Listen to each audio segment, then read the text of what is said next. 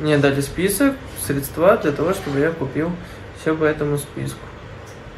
Сказали, сказали адрес, куда мне подъехать и выполнить условия. Я приехал, осмотрелся, мне сказали, все это время я был на телефоне, то есть мы разговаривали по телефону. Но страх, что будут на меня кредиты, моя девушка попала тоже под эту раздачу из-за меня. Нагнал на меня страх, и я решил выполнить эти условия. Я признаю свою вину, что я сделал очень плохой поступок.